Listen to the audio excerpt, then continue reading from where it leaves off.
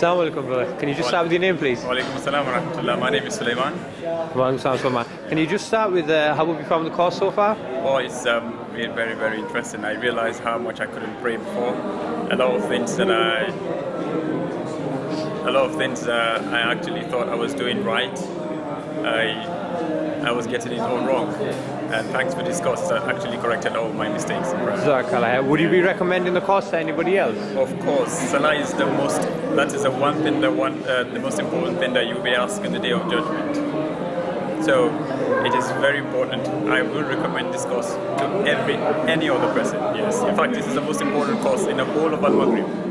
Would you be inshallah? It's um, the most important. You asked. Jazakallah. Will you be signing for our next course, the Prophet Smile? Yes, I am looking forward to it, inshallah. Jazakallah. Thank you very much, brother.